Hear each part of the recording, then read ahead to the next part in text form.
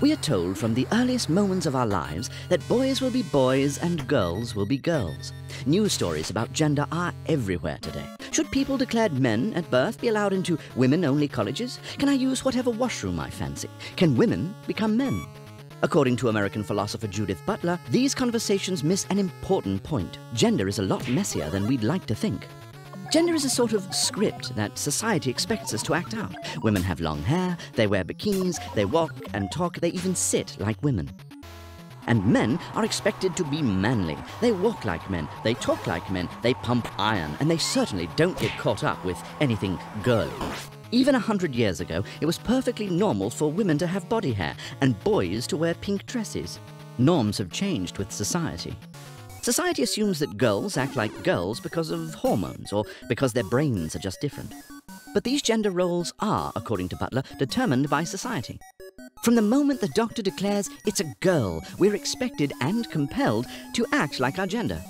Girls are supposed to play with purple ponies and dolls, while boys get spaceships and G.I. Joes.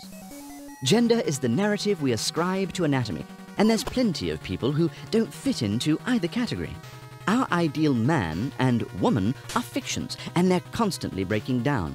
We know of women who prefer swords and sports, and men who prefer dresses and poetry.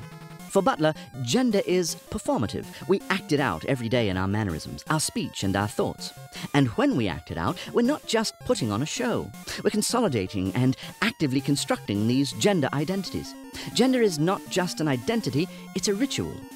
If gender is performative, then perhaps our best course of action is to refuse to perform, perform differently, or even laugh at it.